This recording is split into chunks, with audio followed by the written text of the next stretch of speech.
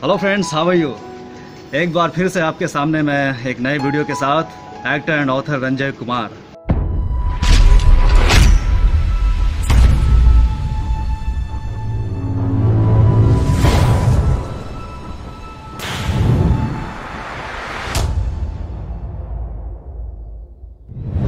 ji हाँ दोस्तों, आज एक्टिंग की बातें करेंगे।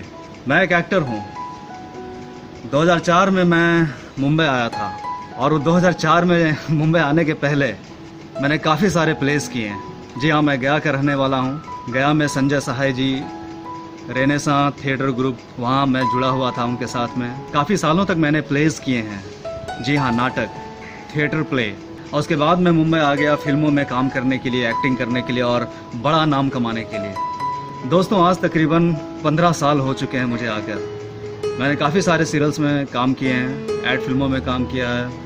दो तीन फ़िल्मों में भी काम किए हैं मैंने। लेकिन इन सब के बीच में जितना ज़्यादा जद्दोजहद के साथ मेरा समय बीता है, और सिर्फ़ मेरा ही नहीं, जो मिडिल क्लास के जो लोग होते हैं, जो एक्टर बनना चाहते हैं, जैसे मैं और मेरे जैसे काफ़ी सारे लोग जो यहाँ पर आए हुए हैं मुंबई में, वो लैक ऑफ़ नॉलेज अपनी ज़िंदगी बर्बाद करते हैं। मैं आपको सजेस्ट करूँगा कि अगर आप मुंबई आना चाहते हैं, और फ़िल्मों में काम करना चाहते हैं, और बहुत बड़ी सफलता पाना चाहते हैं तो आपको खूब नॉलेज प्राप्त करना होगा, खूब मेहनत करनी होगी।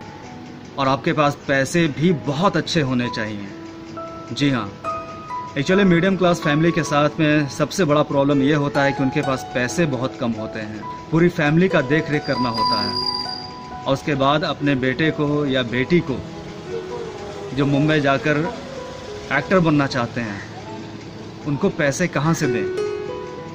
सबसे बड़ी प्रॉब्लम ये हो जाती है। दोस्तों, अगर आप मुंबई आकर फ़िल्मों में काम करना चाहते हैं और बहुत बड़ा नाम कमाना चाहते हैं, हीरो बनना चाहते हैं, या बहुत बड़ा एक्टर बनना चाहते हैं, आपको इस विधा मतलब अभिनय एक्टिंग की बहुत अच्छी नॉलेज होनी चाहिए। इसके लिए आपको थिएटर ज्वाइन करना चाहिए। थिएटर में अपने आप को मांझना चाहिए, परिपक्व होना चाहिए। बहुत अच्छे से आपको प्रैक्टिस करनी चाहिए, अपने एक्टिंग के ऊपर वॉइस के ऊपर, किस तरह से डायलॉग्स को बोला जाता है ये सारी चीज़ें खुद ब खुद ठीक हो जाएगा, अगर आप थिएटर ज्वाइन करते हैं तो। और मेहनत तो करनी है आपको। तो सबसे पहले तो आपको ज़्यादा से ज़्यादा आपको नॉलेज प्राप्त करनी चाहिए एक्टिंग विधा के बारे में।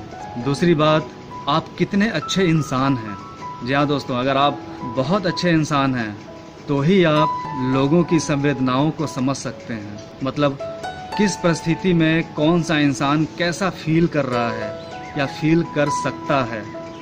अगर आप एक भिखारी को देखें और आपके अंदर दया भाव ना आए तो आप ये समझ लें कि आपको और संवेदनशील होना चाहिए।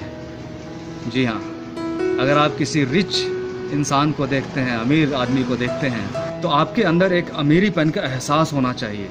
जब आप एक कुटिल व्यक्ति को देखते हैं तो आपके अंदर भी उस कुटिलता का भाव आना चाहिए। और ये तभी आएगा जब आप दिल के कोमल हों, ये तभी आएगा जब आप लोगों के बारे में सोचते हों, ये तभी आएगा जब आपका ऑब्जर्वेशन बहुत अच्छा हो। मतलब लोगों को देखकर आप उनकी भावनाओं को महसूस कर सकें और जो ऐसा कर सकता है, वो बहुत ही अच्छा एक्टर बन सकता है। और दुनिया भर का नॉलेज तो आपको होना चाहिए। और सबसे अंत में, आपके पास बहुत अच्छा पैसा होना चाहिए।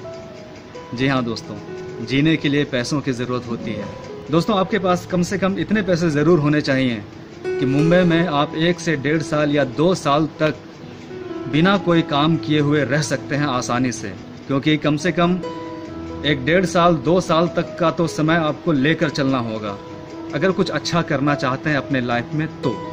दोस्तों, ये वीडियो काफ़ी लंबा हो रहा है। तो इस वीडियो को मैं यहीं पे रोकना चाहूँगा।